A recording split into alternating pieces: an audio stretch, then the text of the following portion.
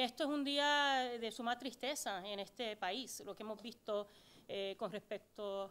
a la narrativa que está presentando este presidente en contra de todos los inmigrantes en esta nación. Eh, la política, las órdenes ejecutivas que él ha firmado eh, van a dividir a este país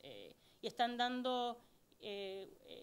presentando esa narrativa que él tiene de que todos los inmigrantes son criminales. Eh, y eso crea una gran división en esa nación y es sumamente peligroso. Nosotros en esta ciudad entendemos que la diversidad que existe de todos los inmigrantes, si son documentados o no, contribuyen a la economía de esta ciudad, que la mayoría, la gran mayoría de los que vienen aquí vienen para contribuir de una, manera positiva y que nuestras leyes, las que hemos implementado, la política eh,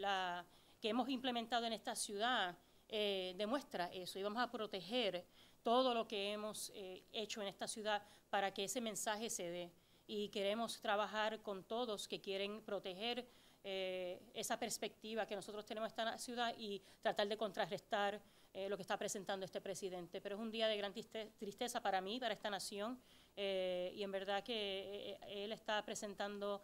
una política bien, bien peligrosa.